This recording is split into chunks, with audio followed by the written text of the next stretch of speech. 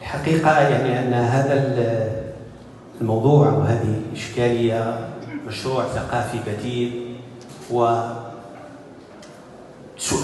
مركزي جدا.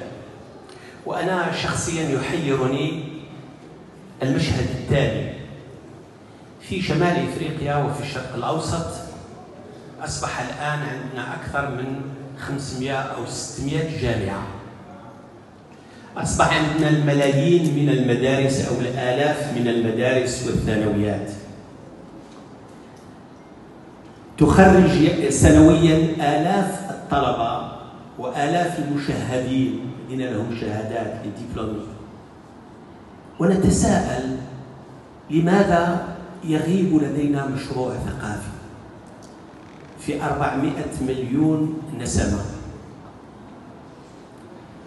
السؤال خطير وخطير جدا. لأن في رأيي بأن أن الثقافة اليوم حينما نطل عليها هكذا من خلال تمظهراتها سواء في شمال إفريقيا أو في الشرق الأوسط سنجد بأنها أصبحت عبارة عن احتفالات ثقافية وليست تأملات ثقافية. كرنفالات ثقافية وليست قراءات ثقافية عميقة. من خلال معارض الكتب من خلال الجوائز من خلال بعض المؤسسات من خلال البرامج التلفزيونيه المهتمة بالثقافة إلى غير ذلك. وأمام هذا المشهد البئيس اذا صح التعبير يبدو أن المثقف اختفى مثقف العضوي مثقف الفاعل المثقف الذي ينتج ثقافة قارئه عاقله معقلنه اختفى أو تراجع. ليحتل منصبه ومكانته ما يسمى الآن ليزانفلونسور المؤثرين في التلفزيون في في وسائل التواصل الاجتماعي.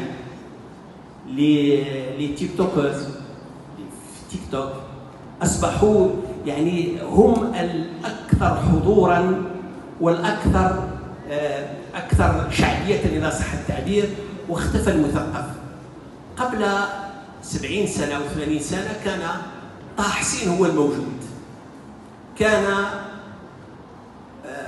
الشعراء في وقتهم هم الذين يشكلون الانتباه المجتمعي والنموذج الذي يحتذى إذا صح التعبير.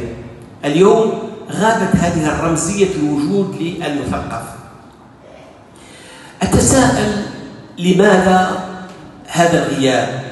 ولماذا هذا الاختفاء؟ قبل ما تخرجوا ما تنساوش تابوناو في قناة اشكاين وتفعلوا الجرس باش يوصلكم الجديد في الحين إذا عجبكم المحتوى بارتاجيوه مع أصدقائكم ولمزيد من الأخبار تيليشارجوا تطبيق اشكاين من Play Store و App Store